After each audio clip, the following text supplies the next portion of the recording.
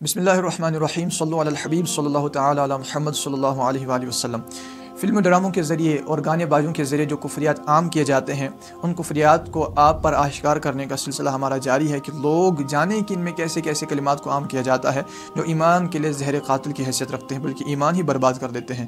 انہی اشعار میں سے آپ کو ایک شعر پیش کیا جاتا ہے۔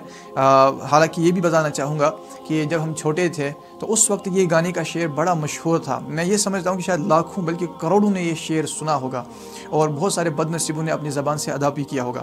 حالانکہ اس کے بارے میں شرعی حکم کیا ہے تو بندے کے رونگٹے کھڑے ہو جاتے ہیں وہ سن کر۔ بہرحال ہمارے مستند عالم دین مفتی شریف الحق امجدی صاحب رحمۃ اللہ تعالیٰ علیہ سے سوال ہوا اس شعر کے متعلق۔ تو وہ فتح شارح بخاری کی پہلی جلد کے اندر صفحہ دو سو اٹھاون پر نقل کیا گیا ہے۔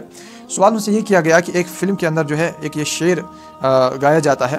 کہ قدرت نے بنایا ہوگا، فرصت سے تجھے میرے یار آپ نے بھی سنا ہوگا، ہو سکتا ہے۔ تو آپ نے جو جواب ارشاد فرمایا وہ یہ ہے کہ یہ کہنا کہ قدرت نے تجھے فرصت سے بنایا ہوگا، یہ کفر ہے۔ تو اس شعر کا پڑھنا کفر ہے کیونکہ اس گانے میں اللہ تعالیٰ کے لیے فرصت کا لفظ استعمال کیا گیا ہے اور اللہ تعالیٰ کے لیے لفظ فرصت کا استعمال کرنا یہ کفر ہے علماء کرام نے اس کو کفر قرار دیا ہے۔ سیدی امیر اہل سنت شیخ طریقت مولانا محمد الیاس قادری دامت برکات علیہ کی مائناز طالب جو کفر کلمات کے حوالے سے بڑی عالیشان کتاب ہے اس کے صفحہ نمبر پانچ سو انیس پر فرماتے ہیں کہ یہ شعر کہ ہر دکھ کو ہے گلے سے لگایا، ہر مشکل میں ہے ساتھ نبایا ان کی کیا کروں تعریف میں فرصت سے ہے رب نے بنایا۔ تو فرماتے ہیں کہ اس شعر میں جو یہ الفاظ الفاظ ہیں کہ فرصت سے ہے رب نے بنایا۔ یہ الفاظ کفریاں ہیں، کیونکہ اللہ تعالیٰ کے لیے فرصت کا لفظ بولنا یہ کفر ہے۔ یوں ہی کفریہ کلمات کے بارے میں سوال جواب کے صفحہ پانچ سو گیارہ پر ہے۔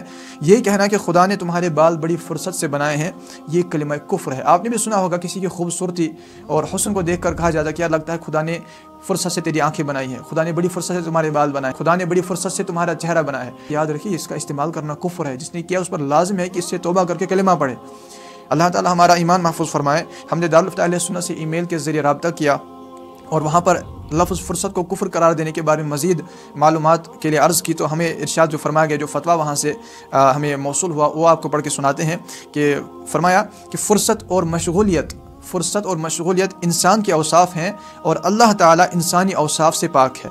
فرصت کے وصف سے اللہ تعالیٰ پاک ہے، اس لیے اللہ تعالیٰ کے لیے فرصت کا لفظ استعمال نہیں کر سکتے۔ تفسیر سرات الجنان کی نوی جلد کے اندر مفتی محمد قاسم اطاری دامت برکات العالیہ فرماتے ہیں کہ ایک بات ذہن نشی رکھیں کہ اللہ تعالیٰ کے لیے فارغ کا لفظ استعمال نہیں کر سکتے کیونکہ اللہ تعالیٰ مصروفیت اور فراغت سے پاک ہے۔ اور ہمارے مستند عالم دین شیخ الحدیث علامہ عبد المصطفیٰ اعظمی رحمۃ اللہ تعالیٰ علیہ اپنی مایا ناز تعلیف جنتی زیور میں عقائد کا بیان فرماتے ہیں اور اس میں اللہ عز و جل کے بارے میں جو عقائد بیان کیے ہیں ان میں سے شرح فق الاکبر کے حوالے سے یہ عقیدہ بھی بیان فرمایا کہ اللہ تعالیٰ مخلوق کی تمام صفات سے پاک ہے۔ اور آگے جا کے ایک اور عقیدہ بیان فرمایا کہ اللہ تعالیٰ جہت اور مکان، زمان، حرکت و سکون اور شکل و صورت وغیرہ مخلوقات کی تمام صفات اور کیفیات سے پاک ہے بالکل اللہ تعالیٰ کسی کی مثل نہیں ہے۔ نہ اس کے مثل کوئی ہو سکتا ہے۔ ہمارا عقیدہ ہے لئی سکمیت لہی شے اللہ تعالیٰ کی مثل کوئی شے نہیں ہو سکتی۔ تو بے شک اللہ تعالیٰ مخلوق کی تمام صفات و کیفیات سے پاک ہے۔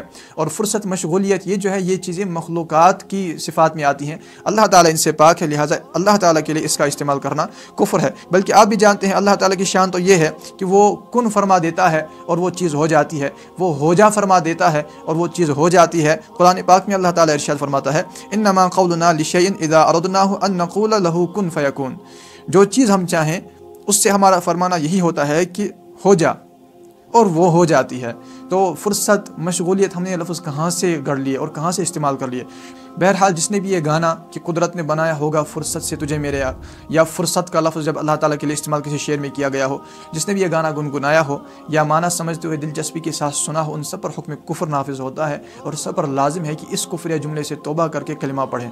توبہ کا طریقہ یہ ہے کہ جو کفر سرزد ہوا ہو، اس کفر کو کفر مانتے ہوئے مخصوص اس سے توبہ کی جائے۔ یعنی یہ کہ یا اللہ، میں نے جو ایک کلمہ کفر بکا کہ تو نے فرصت سے فلاں کے بال بنائے ہیں تو نے فرصت سے پیدا کیا ہے تو میں مانتا ہوں یہ کفر ہے اور اس سے میں توبہ کرتا ہوں اس سے بیزار ہوں لا الہ الا اللہ محمد رسول اللہ صلی اللہ علیہ وسلم تو یہ توبہ ہو جائے گی اور وہ لوگ جو ایسے ہی گانے سنتے رہتے ہیں اب انہیں پتہ نہیں کہ ہم نے گایا ہے کہ نہیں گایا ہے ایسا شعر تو وہ بھی احتیاطاً توبہ کر لیں کیونکہ اس میں جو ہے دونوں جہاں کی عافیت ہے احتیاطاً توبہ کرنے میں یہ ہے کہ آپ یوں توبہ کر لیں کہ اے اللہ عز و جل اگر میں نے یہ کفریہ شعر بولا تو نے فرصت سے کسی کے بال بنائے، فرصت سے کسی کو پیدا کیا۔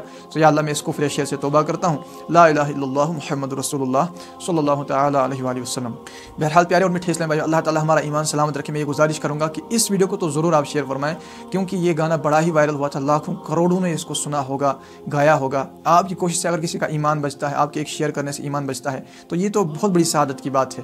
برائے کر ہم ضرور آگے بڑھا دیں اور ایمان کی حفاظت کرنے کے اس سلسلے میں، ہماری اس مہم میں ہمارا ساتھ دیں۔ یہ ہم کوشش کر رہے ہیں کہ آپ تک یہ مسائل اور آگے بھی بہت سارے اہم باتیں اس حوالے سے آپ تک پہنچائیں گے انشاءاللہ۔